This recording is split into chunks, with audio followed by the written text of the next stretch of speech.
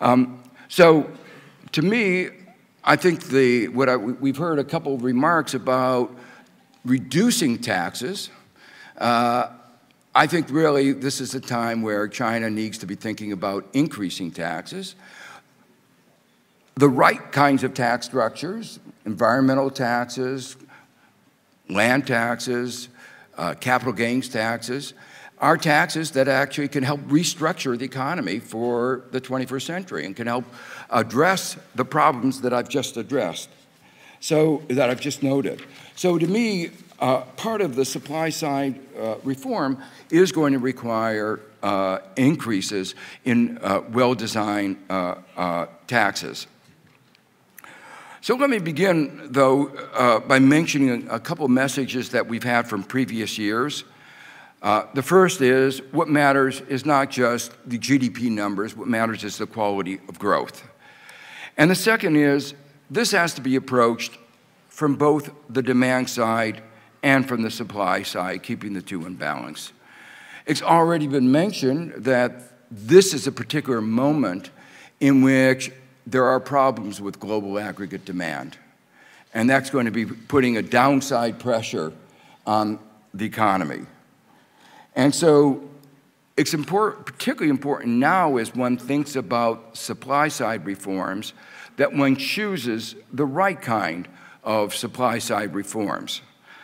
So, a supply side agenda for China needs to begin by thinking about continuing and expanding investments in research, indigenous research that had been referred to by the minister, education, health, um, including preschool and in rural areas, it, continue, it, involves continuing expanding opportunities for women and aged to actively participate in the labor force.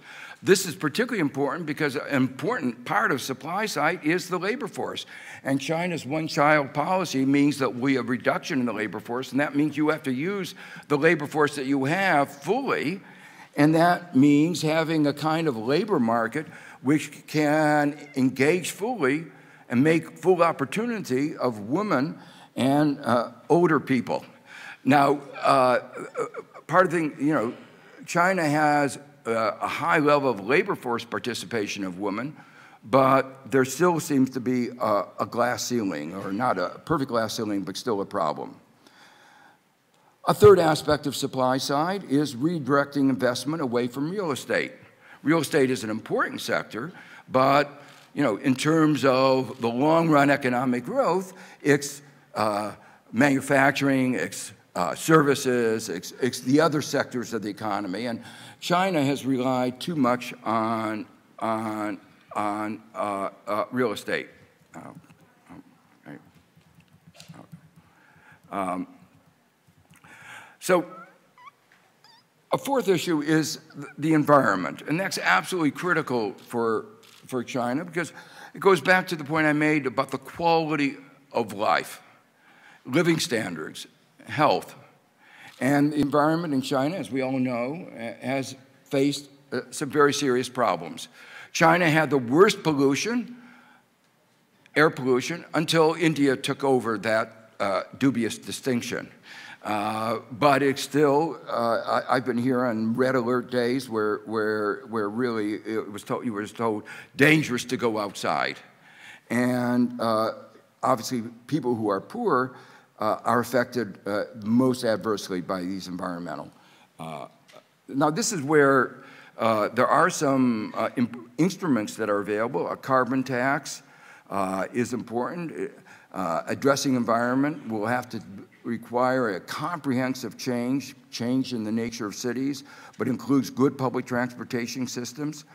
Um, and this is an example of an interaction between demand and supply because while the carbon tax will induce a change in the structure of production, will have supply side effects, it will also have demand effects because retrofitting the economy to create a green economy will actually create an enormous amount of demand.